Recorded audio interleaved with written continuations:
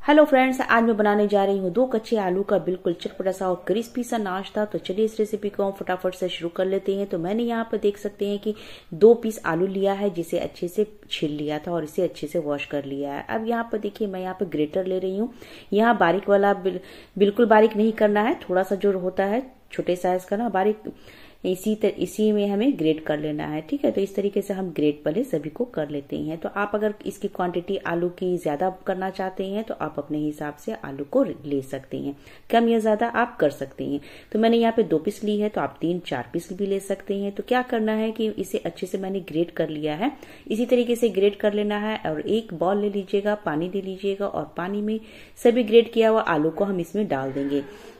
देखिए, बिल्कुल स्टार्च हमें इस तरीके से निकालना है तो इस तरीके से हम वॉश करेंगे ना, तीन से चार बार अच्छे से वॉश कर लीजिएगा और इसे अच्छे से छान लीजिएगा, बिल्कुल हाथ हाथों से निचोड़ करके अच्छे से पानी इसका निकाल लेना है। तो मैंने यहाँ पर तीन से चार बार इसे धो दिया था और अच्छे से वॉश करने के बाद मैंने बिल्कुल हाथ से निचोड़ करके मैंने दूसरे मिक्सिंग बॉल में रख, इसे ट्रांसफ़र कर लिया है। अब हम इसे ट्रेस्टी फूल बनाएँगे। बिल्कुल ही कम मसाले में इसे हम अच्छा सा क्रिस्पी सा नाश्ता तैयार करने वाले हैं। तो यहाँ पर आप तीखा अपने हिसाब से रख सकते हैं। तो मैंने एक पीस हरी मिर्च को बिल्कुल बारीक चॉप करके डाला है और थोड़ा सा धनिया की पत्ती डाल दिया है। तो धनिया पत्ती भी आप थोड़ा या ज़्यादा कम या ज़्यादा कर सकते हैं। तो यहाँ हम नमक यूज़ करेंगे तो नमक अपने टेस्ट के हिसाब से मैंने आधा चम्मच का यूज़ किया है। काला नमक भी डाल देंगे थोड़ा सा ही। आधा चम्मच के करीब बस थोड़ा ही थोड़ा डालना है इतना ही डालना है कि टेस्ट के हिसाब से डालना है, ठीक है? आप यहाँ पर अगर बच्चों के लिए बना रहे हो तो आप चिली फ्लेक्स को आप अवॉइड कर देंगे और बड़ों के लिए बना रहे हैं। तो मैंने यहाँ पर ना चिली फ्लेक्स का यूज़ किया है। इससे चटपटा सा स्वाद आता है। इस रेसिपी में अब काली मिर्च का पाउडर थोड़ा सा डाल दीजिएगा वन फोर टी स्पून अब इसमें हम बाइंडिंग करेंगे। इसे हम बाइंडिंग देने के लिए यहाँ पर ना हम चावल का आटा दो चम्मच यूज़ कर रहे हैं। इससे ना क्या होगा कि बाइंडिंग भी अच्छे से होगी और अच्छे से क्रिस्पी भी हो जाएगी।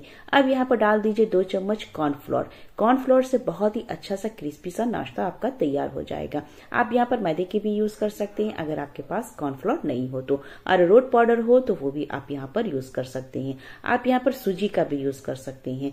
तो अपने हिसाब से जो भी आपके घर में अवेलेबल हो, आप यहाँ पर डाल सकते हैं।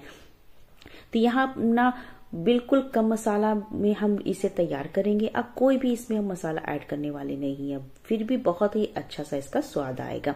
तो घर में जो भी रखी हुई, जो भी सामान है, आप उसी से इसे अच्छे से आप बना सकते हैं। तो घर में तो आलू पड़ी रहती है तो आप उसी से एक एक या दो पीस कच्चे आलू का इतना ही बहुत ही स्वादिष्ट सा नाश्ता आप तैयार कर सकते हैं। तो देखिए, इस तरीके से हमें टिक्की को बना लेनी है।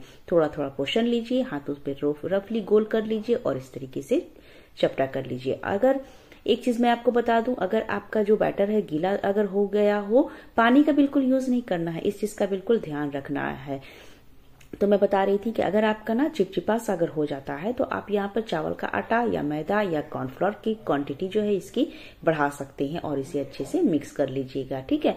तो यहाँ पर देखिए, मेरे पास ब्रेड क्रम्स थी तो मैंने यहाँ पर इस तरह से इसे कोटिंग कर ली है। अगर आपके पास ब्रेड क्रम्स नहीं हो तो आप क्या करें, इसी तरह से आप इसे फ्राई कर सकते हैं। लेकिन ब्रेड क्रम्स में इस तरीके से अगर लपेट देते हैं ना तो बहुत अच्छे से ये क्रिस्पी और करारी बन जाती है। और अगर आप ब्रेड क्रम्स की जगह पर आप रोटी का भी यूज़ कर सकते हैं। आप घर घर में ना बच जाती है रोटियाँ ना तो उसे क्या करना है कि आपको ना मिक्सर जार में उसे अच्छे से ग्राइंड कर लीजिएगा। बिल्कुल बारीक, बिल्कुल ब्रेड क्रम्स के ही जैसे हो जाती है। आप एक बार ट्राई करके ज़रूर से देखिएगा। तो और उसे इस तरीके से लपेट दीजिएगा। तो बहुत ही क्रिस्पी और करारी हो जाएगी। बची हुई रोटी का भी आप इस्तेमाल कर लेंगे और इस तरीके से आप नाश्ता को तैयार कर सकते हैं। तो हर हर किसी के पास ब्रेड क्रम्स नहीं होती है। या चाहे तो आप यहाँ पर ना पोहा को भी आप अच्छे से ग्राइंड कर लें। पोहा को भी ग्राइंड कर लीजिएगा तो बिल्कुल ब्रेड क्रम्स के जैसा हो जाता है। इससे भी अच्छे से कोटिंग कर लीजिए। तो मैंने आपको सारी चीज़ें बता दी है तो टिप्स बाय टिप्स आप फॉलो कर ले। तो चलिए, यहाँ पर देखिए मैंने ब्रेड क्रम्स में से अच्छे से इसे कोटिंग कर ली है। ऑयल को बिल्कुल हाई फ्लेम पर रखना है हाई फ्लेम पर अच्छे से इसे तेल को गर्म कर लेना है और इसमें अब हम डिप कर लेंगे। तो आप तेल जो है अपने हिसाब से रखें, कम या ज़्यादा कर सकते हैं। अगर आप इसे शेलो फ्राई करना चाहें तो शेलो फ्राई कर लेंगे और अगर डीप फ्राई करना चाहें तो डीप फ्राई भी कर सकते हैं। तो ये नाश्ता ना दोनों तरह से बहुत अच्छा बनता है। आप ये अगर इसे तवे पर बनाना चाहते हैं तो कम अगर ऑयल में बनाना चाहते हैं तो आप इसे कम ऑयल में भी बना सकते हैं। लेकिन कम चीज़ों से ही ये नाश्ता बहुत ही अच्छा और बहुत ही स्वादिष्ट बनता है। ये अगर आप इसमें कुछ मसाले भी और ऐड करना चाहें तो यहाँ पर आप इसे इसमें आप गरम मसाला पाउडर हो, चाट मसाला हो, अमचूर पाउडर हो, आप अपने हिसाब से कुछ भी डाल सकते हैं। या तो आप इसके, आप पाव भाजी मसाला हो, मैगी मसाला हो, आप इसमें डाल दीजिए, बहुत ही अच्छा सा फ्लेवर आएगा। अगर आपको ज़्यादा मसाले पसंद हो तो। मैं यहाँ पर बिल्कुल कम मसाले से फिर भी बहुत ही अच्छा सा नाश्ता तैयार कर ली हूँ।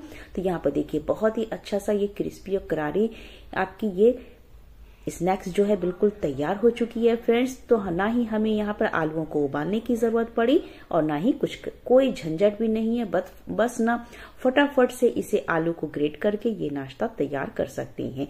पाँच मिनट में बिल्कुल तैयार हो जाती है, फ्रेंड्स। ज़्यादा टाइम भी नहीं लगती है और ये नाश्ता बिल्कुल बन के तैयार हो जाती है। तो मैंने इसे मीडियम फ्लेम पर थोड़ा सा मैंने कर दिया था ताकि ये अच्छे से अंदर से भी सीख सके। तो ये बिल्कुल अच्छे से पक चुक गई है, अंदर से, बाहर से, सभी तरफ़ से बहुत ही अच्छा से ये पक गई है। तो रेसिपी पसंद आए फ्रेंड्स तो लाइक कर दीजिएगा और चैनल पे पहली बार आए हो तो प्लीज़ सब सब्सक्राइब करना बिल्कुल ना भूलिएगा। और इस रेसिपी को आप ज़्यादा से ज़्यादा शेयर भी कीजिए अपने दोस्तों में, अपनी फैमिली में। तो ये देखिए, बहुत ही फटाफट से ये नाश्ता तैयार है फ्रेंड्स तो बहुत ही चटाकेदार है। आप इस, एक बार इस रेसिपी को ट्राई करके देखिए और मुझे कमेंट्स में ज़रूर से बताइएगा कि आज की रेसिपी आपको कैसी लगी। मैं आपको इसे ना तोड़ के भी दिखा दूँगी कि अंदर की फीलिंग्स कैसी है।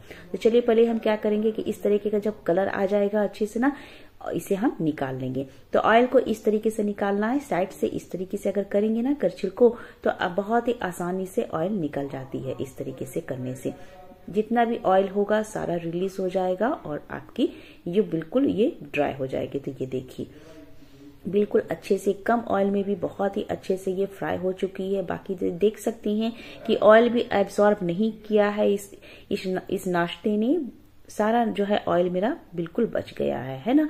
तो है ना मज़े की बात? तो चलिए, सभी पीसेस को मैंने इसी तरीके से निकाल लिया है। और भी अगर आपके पास पीसेस हो तो इसी तरीके से आपको फ्राई करके निकाल लेना है। तो चलिए, मैं आपको यहाँ पर तोड़ करके भी दिखा दू कितना क्रिस्पी और दोनों साइड से देखिए कितना कलरफुल आया है और ये देखिए कितना क्रिस्पी है ना, ये देख सकते हैं। तोड़ने से ये अंदाज़ा लग रहा होगा ना, ऊपर की लेयर जो है ना, बिल्कुल क्रिस्पी और अंदर से देखिए आलू बिल्कुल अच्छे से पक चुकी है और अच्छे से सॉफ्ट भी हो गई है। तो बिल्कुल गर्मा गर्म ये नाश्ता, आप टोमेटो केचप हो या ग्रीन चटनी हो या कोई भी ऐसा सॉस हो ना, आप उसके साथ इसे इंजॉय कर सकते हैं। तो चलिए फिर मिलते हैं एक नई रेसिपी के साथ। Thank you